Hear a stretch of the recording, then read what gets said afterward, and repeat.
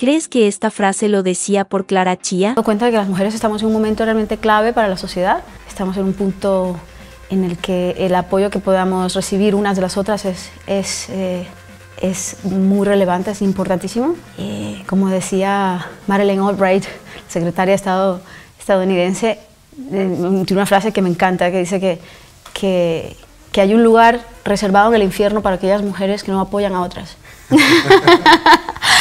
eh, y sí, estoy completamente de acuerdo.